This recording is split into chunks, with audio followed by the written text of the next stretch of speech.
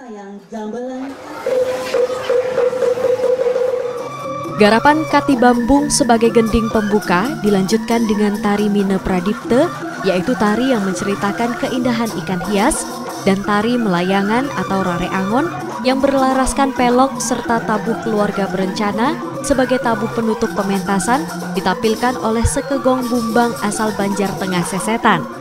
Yang menjadi keunikan dari penampilan ini adalah bahan bambu yang mirip dengan kentongan yang dijadikan sebagai instrumen.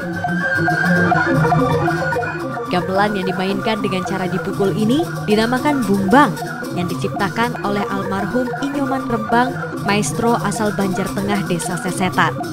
Bumbang pada tahun 1985 ini terinspirasi dari keindahan aneka ikan hias dan meniru suara gelembung air. Bumbang ini uh, adalah musik bambu uh, yang inspirasinya itu mengambil tema tentang air kok.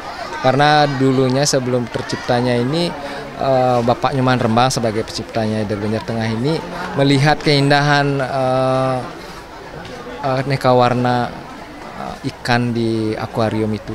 Ini kami akan publikasikan kepada masyarakat bahwa bumbang ini masih eksis dan mereka juga banyak yang kaget ternyata kok bumbang ini lama tidak punya muncul lagi tiba-tiba bisa kembali lagi kayak dulu dan mereka harapan mereka tentu akan yang lain bisa ikuti jejak ini untuk ikut bersama-sama melestarikan bumbang dan mengembangkannya.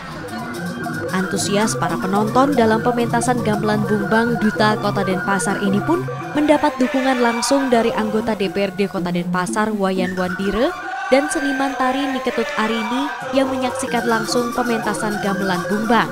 Komang Suarbawo, Kompas Dewata.